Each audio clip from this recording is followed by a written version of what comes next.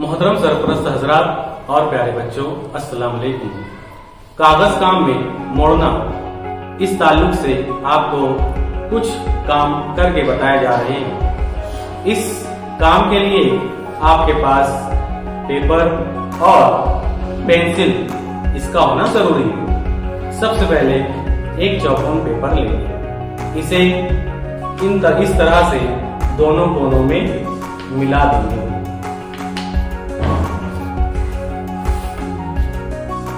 ये मिलाने के बाद आपके पास इस तरह शक्ल हासिल होगी।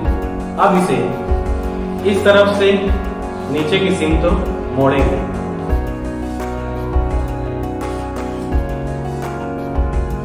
इसी तरह दूसरी साइड की भी इसी तरह मोड़ना है।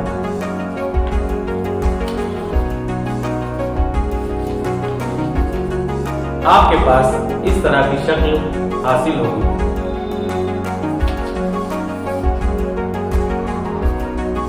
अब कागज़ को नीचे की सिमट से इस तरह मोड़।